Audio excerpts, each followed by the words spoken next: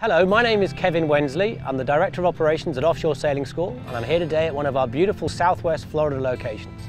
What I'd like to talk today about is jibing a spinnaker. Okay, so we've got the spinnaker up, it's flying nicely, and now it's time to actually jibe the, jibe the spinnaker, which means basically we're going to jibe the boat, we're going to change tacks. The moment we're on a starboard tack, the wind is coming over the starboard side, the pole's out on the starboard side.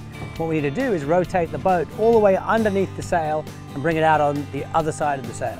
Step one is to have somebody ready to go forwards to move the pole for us. Looks like Brian's going to do that. What Brian doesn't want to do is release the pole when the sail isn't actually full. If we do this well, we should be able to keep the sail flying all the way through the jibe. He stays behind the pole. Nice one. Yeah, go ahead.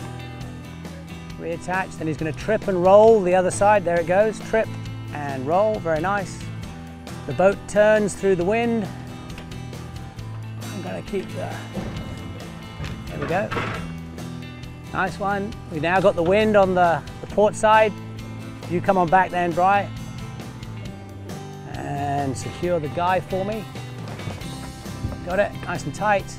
And then back to trimming the sail. And so now the luff is on this side. So, there we go. I'm gonna just keep easing until I see a little bit of a curl. There's the curl.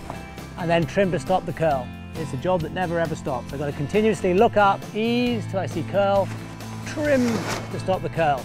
And ideally we want the, the luff of the sail just on the edge of curling. So there we have the sail jibed, we're on the new tack and the trimmer is back engaged in making sure that that sail is drawing perfectly all the time.